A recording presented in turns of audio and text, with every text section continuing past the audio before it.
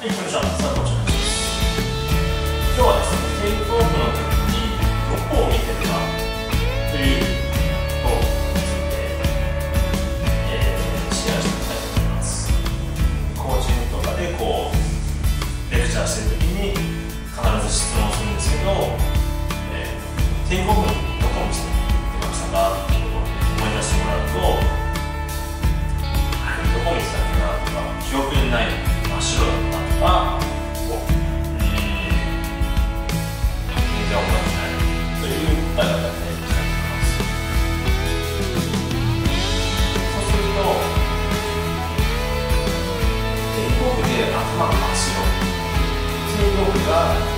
Viva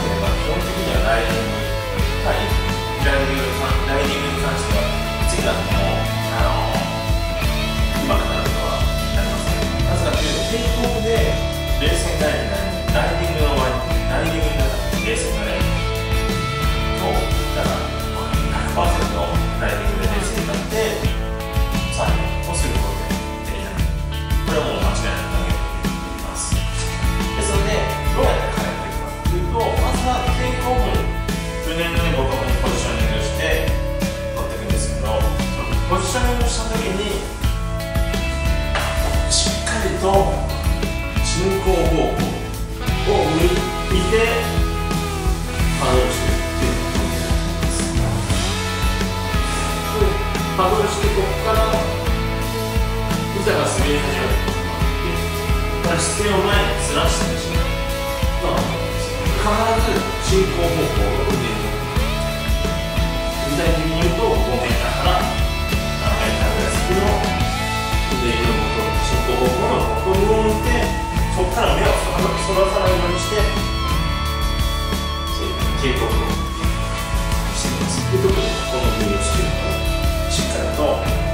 らさないでこれをやって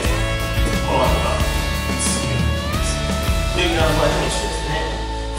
レギュラーの場合でも漕ぎ始めたらうねりの元にポジショニングしたらからしっかり姿勢をずらさないでこのまま進行方向のうねりの5メーター先ぐらいのボトムを見ていくそれがポイントになっています。必ず視線はそこからずらさない。ずらした瞬間に見てた描いてたラインというのは必ず消えてしまうのでそこから視線をずらさないというのがポイントになってきます。これをねぜひねあの